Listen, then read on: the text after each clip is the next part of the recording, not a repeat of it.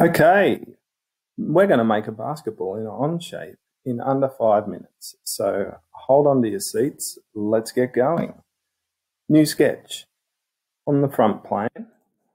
And we're going to start with a circle, a center point circle from the origin, 50 millimeters. And let's draw a line perpendicular down the middle of that circle and then use trim to get rid of half the circle. So we've got a semicircle, 50 millimeters, finished sketch. Let's revolve that semicircle on that axis there. There's our first sphere. Okay, finish the revolve. Now we're going to draw a new sketch on the front plane again. In sketch two, we're going to draw a whole heap of circles and lines and you're going to get confused, but watch till the end and you'll see what we're doing.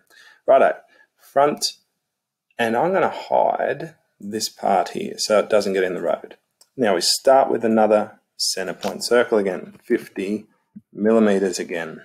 This time we're also going to put center point circles from the edge of that circle, and they're going to be 34 millimeters. Just zoom in a bit so you can see. And we're going to use offset on 34, and we're going to have a 1.5 millimeter offset. Okay, we're going to use mirror off this line, horizontal line, and we're going to mirror these circles. Awesome. Now we're going to draw a center point rectangle. Now I'm going to zoom in to make sure I get right on the origin. And don't mind if it goes a bit longer, but it's got to be 1.5 millimeters thick. Now I'm going to draw another center point rectangle, this time right on the center point origin again, and it's going to go past here, and it's going to be 1.5 millimeters. Okay, trim. We've got to get rid of all these lines now. And these ones down here. And I'm going to zoom in and get rid of these lines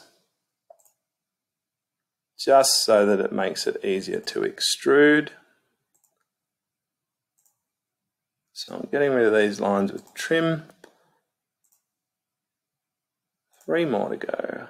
Two, one. Okay, that's our sketch, finished sketch. Extrude. We're going to extrude all of this middle piece as a remove, as a symmetric extrude, and we're going to merge with all.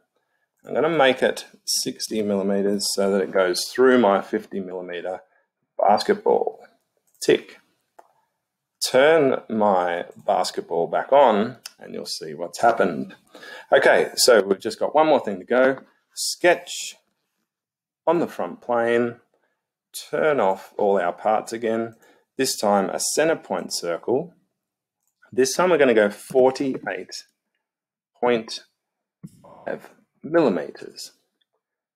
Draw a line down the middle, center to there, going to trim that off. I'm going to do another revolve. So finish sketch, revolve that semicircle on that axis. And I'm going to make it add, which means it will add, if I click merge with all, it will add it to all of these parts and make them all one. Tick, there is your basketball.